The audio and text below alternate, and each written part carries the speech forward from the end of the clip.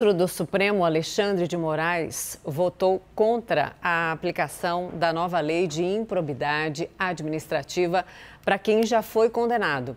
E o ministro André Mendonça acompanhou o voto em parte. O Pedro Teixeira explica para a gente. Oi, Pedro, boa noite, bem-vindo. Conta.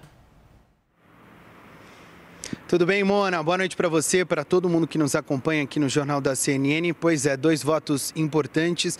O julgamento foi definitivamente iniciado nesta quinta-feira, será retomado na próxima semana, mas dois ministros já votaram, o relator, o ministro Alexandre de Moraes e também o ministro André Mendonça. Bom, começar pelo voto do ministro relator, o Alexandre de Moraes, que votou contra a possibilidade de aplicação da nova lei de improbidade administrativa para aqueles que já foram condenados definitivamente. Ele, no entanto, abriu uma brecha para que agentes públicos que ainda respondem na justiça possam ser beneficiados com a nova lei. Já o ministro André Mendonça foi um pouco além. No entendimento dele, o, os casos que estão em andamento na Justiça, evidentemente, já podem ser aplicados na nova lei sancionada no ano passado e ele também incluiu casos já definitivos, ou seja, políticos, por exemplo, que já foram condenados de forma definitiva na avaliação do ministro André Mendonça, podem ser beneficiados pela nova lei. Ele diz que